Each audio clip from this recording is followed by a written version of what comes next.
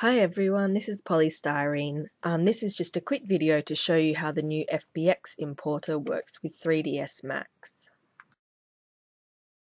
I'll use a very simple mesh to show you this. I'm just going to make a box.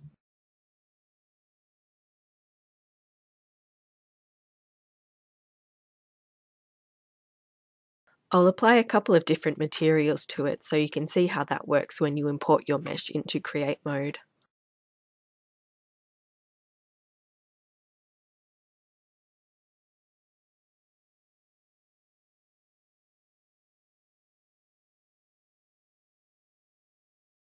So there is my mesh. Now I need to make a skeleton, so I'm using a dummy for the root.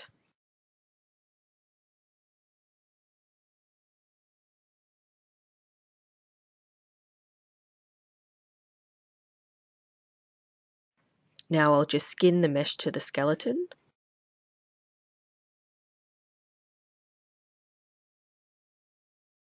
And we're ready to go.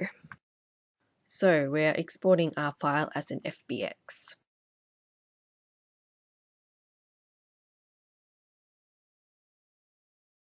Now we'll go into create mode and derive from a furniture product.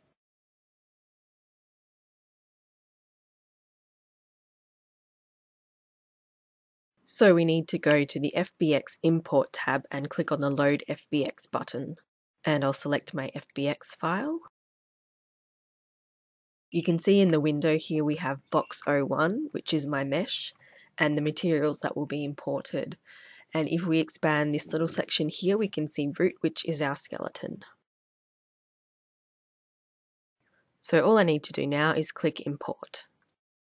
This window is just telling me that the materials I've imported are overriding the ones from the mesh I derived from.